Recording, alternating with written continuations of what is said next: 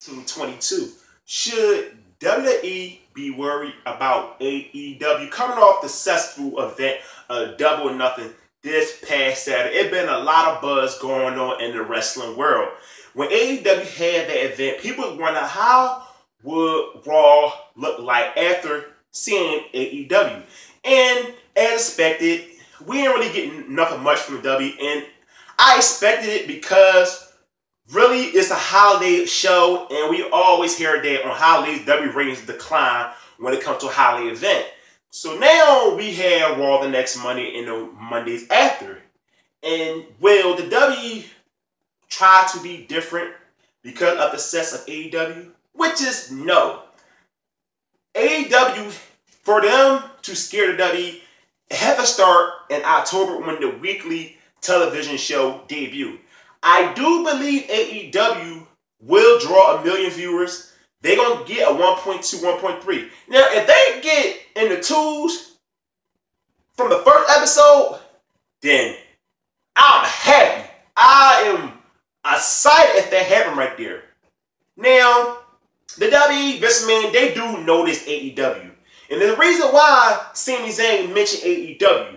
Now, there's a reports that it was scripted, and it wasn't scripted. They took it off the uh, YouTube channel. And more than likely, they're going to take off the Hulu one.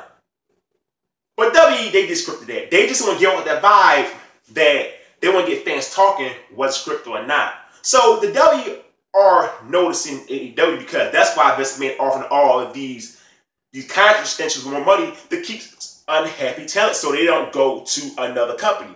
Vince McMahon no longer up for competition at the age of what, 74 years old. This man is so successful, he done it with WCW. Vince is not up for competition. So, yes, they should be worried. Because I'm seeing the W is not ready for competition.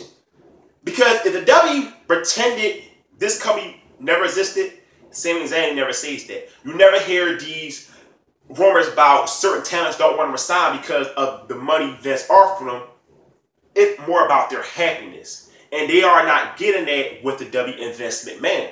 So finally, the wrestling business can have a legit number two threat.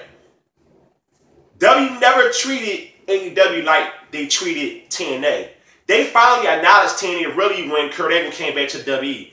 And by that time, TNA was no longer a possible threat like we always thought it could be down the line. So I'm glad AEW is around here.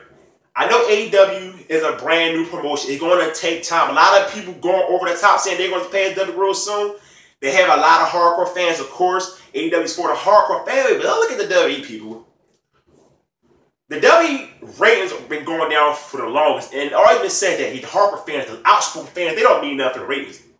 At one point, I can agree with that because the ratings was better a couple years ago. But now the W can't get in the threes. So who are the current fans in the W product today? How much casual fans is it? How much hardcore fans is it? But more than likely, it's more of the hardcore fans watching W than the casuals watching W. Because I'll be totally shocked if it's really just more casual fans that do not care about the other stuff like I do, online, get mad. Because the W still had those fans. Remember the episode Raw? They didn't know none of the NXT talents. They didn't give them no type of reaction. So those fans are still out there. But the percentage of those fans like that, that night on Raw, I've got where it was at. I think it's Lafayette. My guess.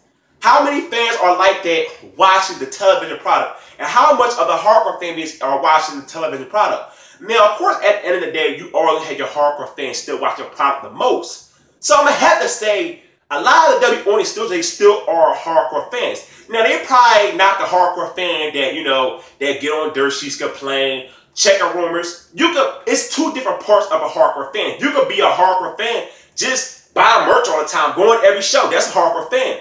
But you could be that hardcore fan and not be like hardcore fan like me and others that you know the ones that like you know watch guys travel the world, work other promotions, stuff like that. So all different parts of hardcore fans. So in 2019 how fast can AEW catch the WWE? A lot of people say it won't be that long. And more than likely, I could be wrong because I'm the one that's saying it's going to take a long time. But I could be wrong because the wrestling fan base declined over the years.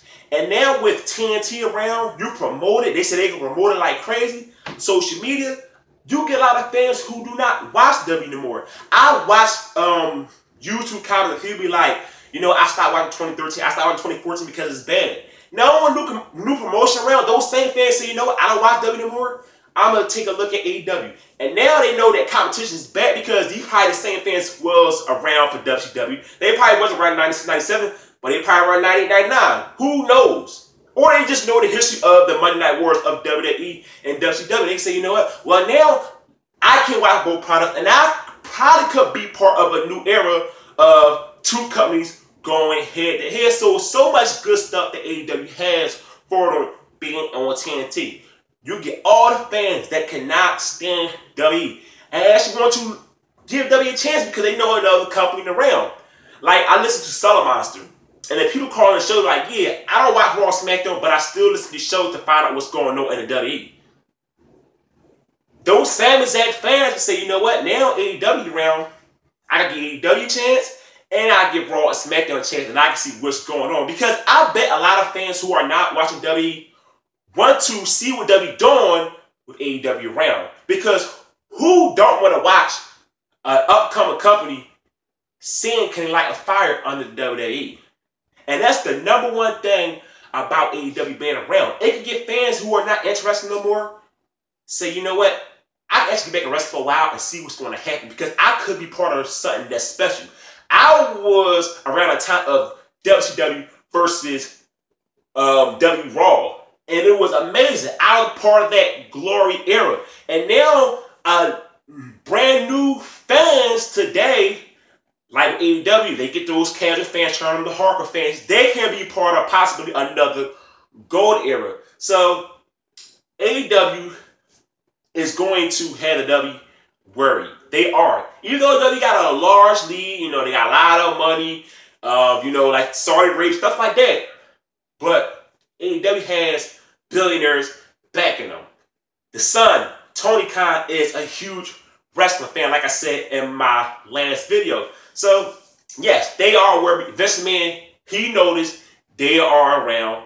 And Vince Man, as of right now, is not ready to show on television that he's worried about them.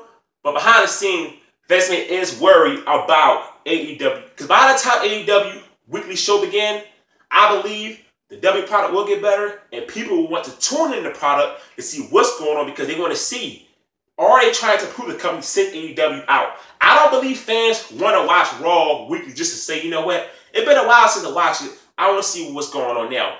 No, I believe since they know AEW's around, they want to see the Raw and SmackDown make any changes. For me, start watching consistent like I used to when a product was good at one point. So give me your thoughts on the video right here about should W be worried about AEW? I say yes. Do I say no? Let me know in the comment section. Uh, of course, people hit the like button. I gotta bring up more often. Hit the like button. And don't forget, hit the subscribe button. I'm out. Peace.